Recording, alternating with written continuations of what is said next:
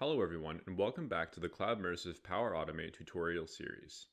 In this video, I'm going to show you how to easily convert a docx document to text using the Cloudmersive Document Conversion Connector in Power Automate. This connector isn't just limited to docx conversions, but I'm using a docx file in this video as a common and easy example of how to do this. Let's get started. From the Power Automate homepage, click Create and then select Instant Cloud Flow on the next page. Give your flow a name and then select Manually Trigger a Flow. Click Create at the bottom when you're ready to move on.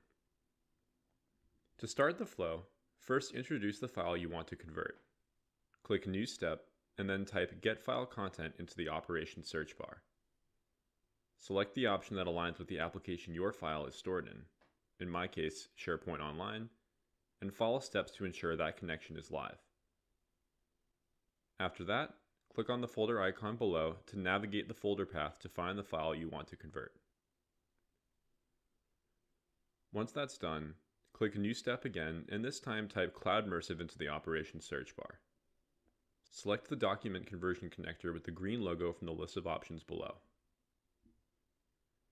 If it's your first time using this connector, You'll be prompted to input your Cloudmersive API key and name your connection at this stage. You can obtain an API key easily by visiting our website, www.cloudmersive.com, and creating a free account with no financial commitments. Once entered, your information will save for the next time like mine has.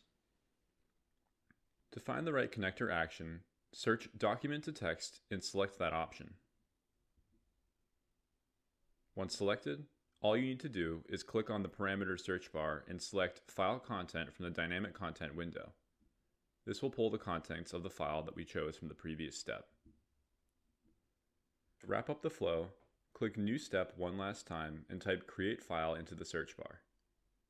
Choose the option that aligns with the application you want your new file to be saved in. I'm using SharePoint again for the sake of simplicity, so once again I'm selecting that option and then taking the necessary steps to enable that connection.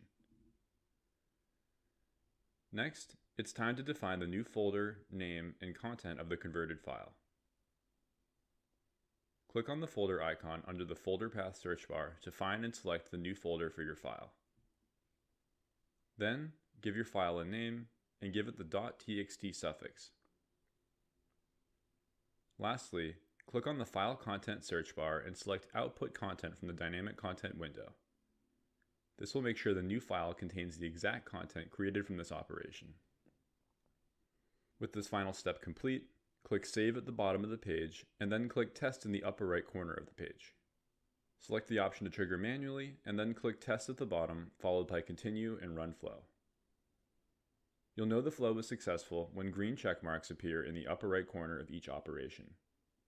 This means there are no obvious errors, at least, and in order to make sure the flow worked correctly, you'll need to check the folder that the new file was sent to. As you can see here, I have the newly converted file sitting in the folder I specified. With this flow in place, you can now put your text document conversion needs to rest. Thank you for watching this video. Stay tuned for more Cloudmersive Power Automate tutorials in the near future.